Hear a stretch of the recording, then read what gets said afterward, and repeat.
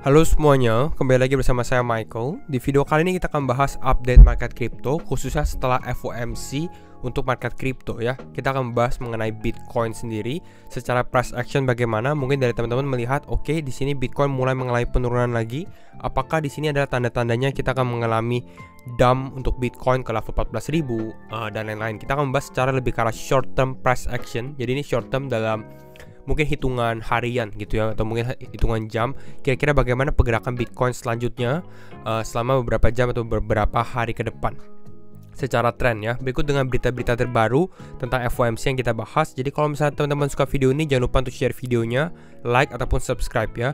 Um, untuk hari ini kita lihat memang market mengalami penurunan Bitcoin turun 3,6% Ethereum turun 5% um, beberapa altcoin juga mengalami penurunan ya um, ini persis setelah FOMC yang kita bahas nih ya. FOMC hari ini apakah akan 50 basis point ataupun 75 basis point? Apakah ada kripto yang naik? Yes ada seperti XDC, Chilis dan beberapa kripto lainnya ya. Tapi rata-rata mengalami koreksi ya. Rata-rata mengalami koreksi. Kita bisa lihat seperti ini 5% 6% seperti itu. Nah, kita akan bahas langsung masuk aja ke dalam Fear and Greed. Fear and Greed kita di level 31. Um, masih di tengah-tengah sebenarnya. Nah, kita akan langsung update ke newsnya. Nah, ini sebenarnya big news, tapi entah kenapa belum ada pergerakan besar di crypto gitu ya. PayPal will integrate its crypto service with MetaMask wallet ya. PayPal-nya cukup besar sekali ya. Mungkin di Indo kurang, tapi teman-teman harusnya sudah familiar dengan PayPal. Um, mereka mau integrate dengan MetaMask wallet gitu ya. Mungkin kalau MetaMask wallet sendiri ada, tokennya, mungkin dia bisa mengalami kenaikan. Tapi kan MetaMask ini nggak ada nggak ada uh, tokennya gitu ya. Nah, sekarang kita akan langsung masuk aja ke dalam berita selanjutnya. Ini pergerakan atau price action uh, untuk FOMC ya di spot auction. Jadi spot ini ya artinya di di market spot bukan market futures ya. Jadi kalau teman-teman beli satu Bitcoin ya teman-teman punya satu Bitcoin. Itu itu bedanya spot dengan futures lah. Um, intinya di sini kalau kita lihat secara um, grafik harga Bitcoin ya, kita review sedikit di time frame satu jam. Sorry satu jam ini ya. Kita bisa lihat nih ya teman-teman. Kita memang bahas uh, target resisten 18.200 dan memang Bitcoin sempat naik ke 18.386 ya. Sedikit uh, lebih atas ya. Namun ini kelihatan ya. Ini pada saat dia closing di sini artinya pada saat dia closing terus turun lagi di sini body candle besar. Ya ini kelihatan ini kurang kurang begitu kuat gitu ya. nggak ada uh, engulfing candlenya. Lalu dia mulai melemah, melemah dan melemah. Nah, kita lihat secara timingnya ya. FOMC itu kan jam 2 ya. Kita lihat memang dia sempat naik pre FOMC. Jadi sebelum FOMC jam 1 pagi mulai naik pump biasanya initial pumpnya seperti itu gitu ya biasanya kalau teman-teman harus perhatikan kalau teman-teman trade news ini biasanya ini market mengalami kenaikan dulu pada saat eventnya dia mengalami penurunan atau mengalami penurunan dulu pada saat eventnya mengalami kenaikan biasanya hal itu terjadi gitu jadi jangan percaya move pertama ya nggak ini bukan artinya selalu seperti itu tapi rata-rata seperti itu gitu ya lalu kita lihat jam 2 baru mengalami penurunan dan downtrend terus sampai saat ini gitu ya. Kita lihat Bitcoin sekarang di level 17.400. Nah, kita akan review secara um, kalau teman-teman mau bahas ini fase satunya small small spot sell orders selling itu FOMC pump. Jadi pada saat di sini FOMC mulai naik di sini, ini mulai ada selling terjadi, selling pressure mulai terjadi gitu ya. Um, selanjutnya di sini kita lanjut lagi market makers distribute spot and widen spreads di sini dia mulai bergerak baru yang ketiga ini jadi pelan-pelan terjadi uh, selling ya dijual dijual baru jualnya secara agresif makanya langsung mengalami penurunan jauh gitu. Kalau kita lihat di time frame 15 menit kelihatan ya. Awalnya uh, saya dilihat dulu ini ya. Ya awalnya dia mengalami penurunan sedikit gitu ya. Baru mulai agresif agresif dan baru ini perlahan-perlahan dan sekarang dia sudah mendekati level supportnya lagi gitu. Ini untuk price action Bitcoin. Nah kenapa bisa turun? Gitu ya.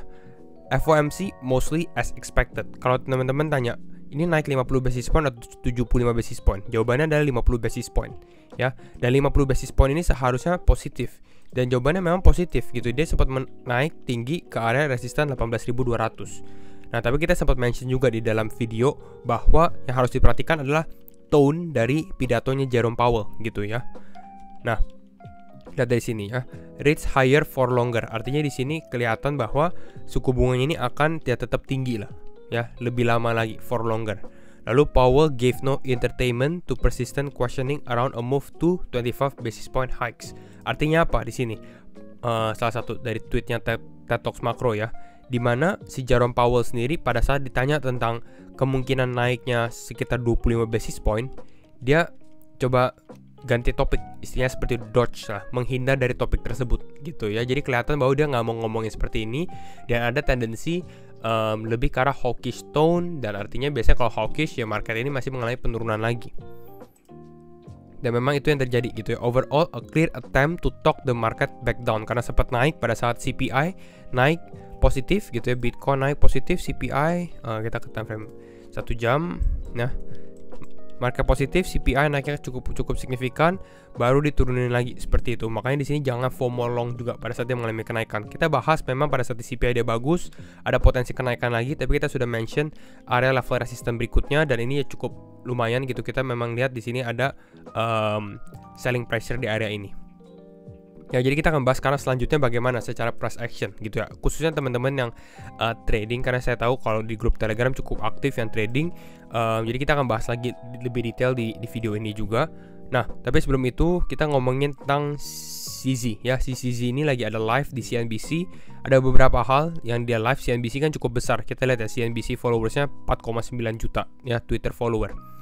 Di mana dia membahas no amount of withdrawals can cause issue for Binance. Jadi ya kemarin dia bisa Binance bisa handle withdrawal sebesar itu, saya rasa itu sangat-sangat bagus sekali dan bukannya orang-orang lebih takut sama Binance ya atau atau nggak mau pakai Binance, saya rasa ini justru lebih ada trust, lebih ada kepercayaan untuk Binance sendiri.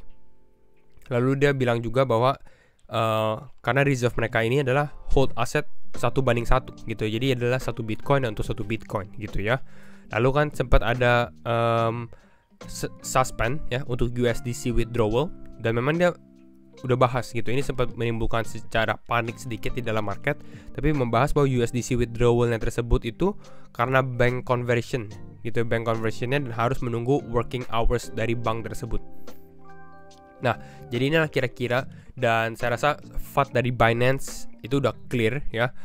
Uh, CZ handle it well ya, uh, sangat bagus sekali gitu jadi ya ini justru menimbulkan kepercayaan juga untuk kita kalau misalnya teman-teman menggunakan Binance. Tapi rekomendasi saya sebenarnya jangan stick to one exchange doang sebenarnya.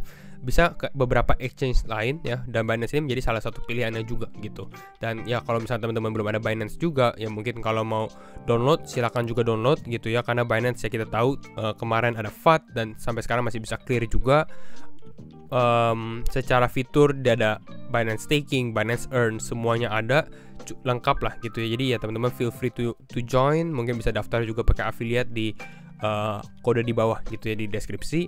Jadi kira-kira itu. Dan sekarang kita akan langsung masuk aja ke dalam teknikalnya gitu ya. Ini mungkin ditunggu-tunggu. Kembali lagi disclaimer on and do your own research karena setiap keputusan tetap di tangan teman-teman. Overall kita akan bahas di time frame 4 jam. Ya, satu hal yang kayak saya lihat dari sini, ini retrace-nya bagus sebenarnya ya. Dia mengalami penurunan. Yes, ini bisa dibilang penurunan besar 5,7%. Tapi kita harus secara objectively saya rasa ini mungkin bisa hold ya. Area 17.300 17.400 ya di area ini.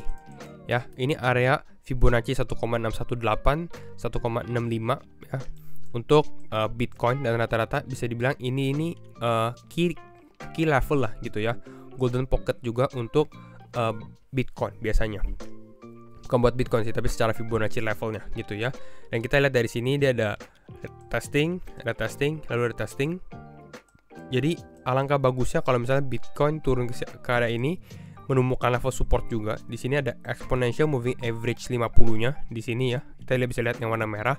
Jadi menemukan level supportnya sekarang berada di kisaran area 17.346 ya. Lalu mulai kembali naik lagi. Mungkin yang terjadi bisa jadi dia turun sedikit ambil liquidity di bawah. Mungkin testing ke level 17.200 lalu naik lagi ke area ini. Jadi bisa uh, kenapa dia turun ke bawah sini? Biasanya ini untuk mengambil stop loss orang gitu. Jadi banyak orang yang taruh stop loss di area ini gitu ya. Jadi dia uh, hit dulu ke bawah sini ambil liquidity baru naik ke atas Jadi secara time frame uh, saya lihat secara short term justru ini Bitcoin potensi mengalami kenaikan. Bukan artinya Bitcoin akan naik terus sampai 30 ribu bukan seperti itu gitu ya. Uh, ini lebih karena untuk trading aja kalau teman-teman memperhatikan. Ya secara time frame berikutnya ini lebih ke pattern yang kita mau bahas. Nah, ini pattern yang kita bahas juga, rising watch pattern yang kita bahas di sini. Secara skenario, ini ada beberapa skenario yang saya ambil juga, belum saya share di Telegram tapi intinya di sini kita melihat bahwa Bitcoin uh, ini testing ke area resistance-nya. Ya ini bahkan udah testing di bawah level ini nih, gitu ya. Jadi ini akan cukup menarik ya. Sekarang ini mungkin waktunya untuk kita perhatikan apakah di sini dia akan closing bagus ya, uh, closingnya di, di atas ini dan bisa bounce lagi atau dia malah mulai breakdown ya. Saya rasa kalau Bitcoin udah turun dari level 17.100 itu harus was-was. Apalagi kalau teman-teman yang pasang posisi long seperti itu ya. Apalagi kalau terconfirm di time frame 4 jam ya itu harus hati-hati. Namun selama kalau dia masih di atas saya rasa masih ada potensi dia untuk bounce up lagi gitu ya. Karena momentum yang terjadi untuk Bitcoin ini masih cukup strong saya rasa. Dan masih bisa tap liquidity di atas lebih atas lagi gitu. Uh, nah kalau kita di di grafik ini ya. Secara target mungkin teman-teman sudah tahu yang kita bahas bahwa kita hoping untuk atau berharap untuk Bitcoin mungkin testing ke area liquidity di atas ini. Gitu ya 18.600 18.800 dan saya rasa ini masih possible dengan momentum yang ada juga sih gitu ya.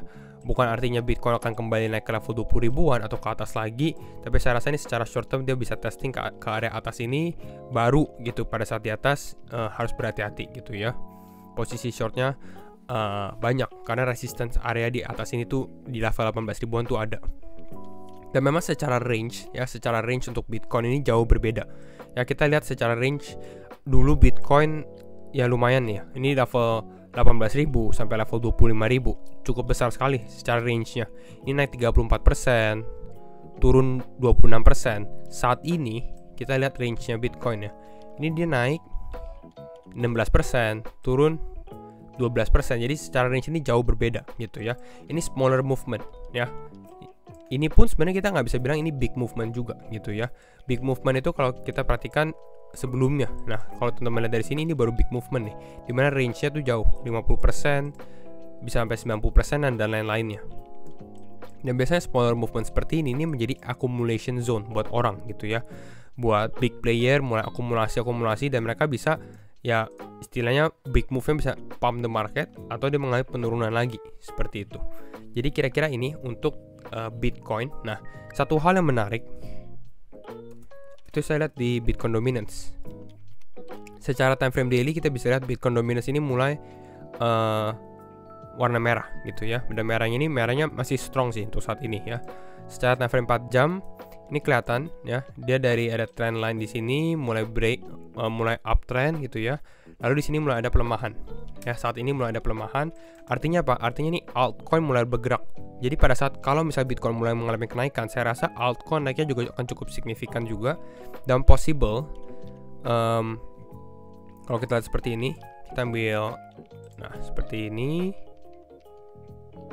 Nah kita lihat dari sini menjadi support lah secara short term ya possibility-nya adalah mungkin kalau ini bagus, ini alt uh, Bitcoin dominance akan kembali mengalami penurunan, mungkin testing ke area ini, artinya altcoin akan cukup performing dulu gitu ya, baru dia ada bounce up lagi, baru mulai mengalami kenaikan lagi. Jadi ini seperti untuk uh, koreksi sedikit lah, gitu mengalami pullback dulu. Jadi ini untuk Bitcoin dominance dan kira-kira mungkin itu dulu untuk update sekilas untuk Bitcoin dan pergerakan market crypto berikutnya juga. Jadi teman-teman bisa perhatikan juga. Dan kalau misalnya teman-teman suka video ini jangan lupa untuk share videonya, like ataupun subscribe. Dan sekali lagi thank you semua for watching and see you in the next video. Bye bye.